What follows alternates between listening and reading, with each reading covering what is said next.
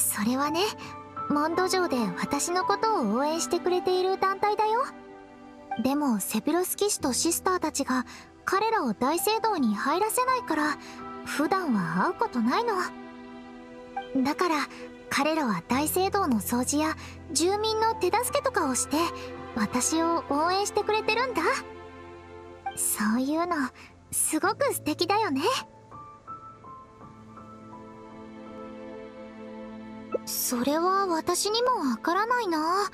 私が知ってるのはアルバートさんホフマンさん。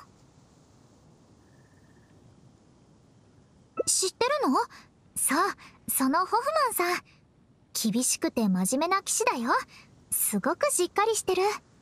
サインを要求したり声をかけたりそういうの一回もされたことないんだ。公務で大聖堂に来ても顔色一つ変えないの。アルバートさんに直接言われなかったらずっと知ることなかったかも。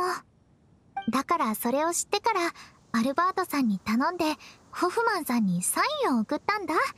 喜んでくれたかな。ありがとう。誰かとこんなにたくさん喋ったのなんて久しぶり。私の愚痴を聞いてくれてありがとう。栄誉騎士であるあなたに励まされたおかげでこれから先も頑張れるよ。さてとまだ少し残ってるから全部飲んじゃおっか。今日はゆっくり休んで明日からまた頑張ろう。